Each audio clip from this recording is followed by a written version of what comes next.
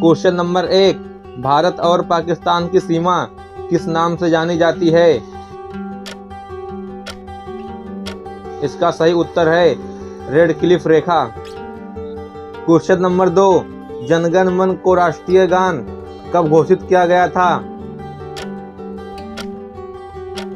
इसका सही उत्तर है 24 जनवरी 1950 को। क्वेश्चन नंबर तीन, तिरंगा झंडा को राष्ट्रीय झंडा कब घोषित किया गया था?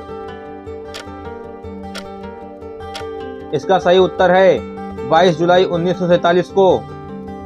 क्वेश्चन नंबर चार, भारत की पूर्व से पश्चिम तक की सीमा की लंबाई कितनी है?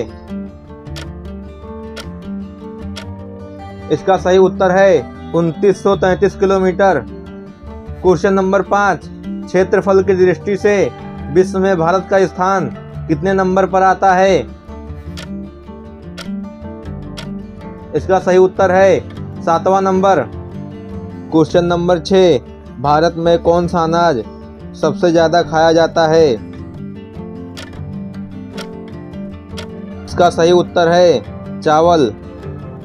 क्वेश्चन नंबर सात, महात्मा गांधी की हत्या कब हुई थी?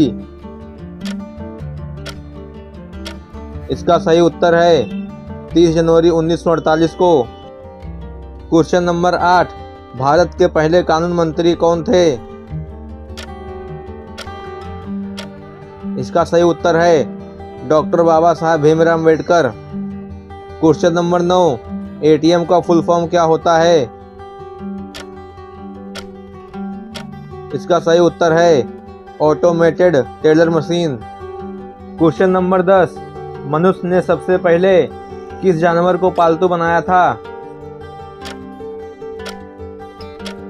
इसका सही उत्तर है कुत्ता।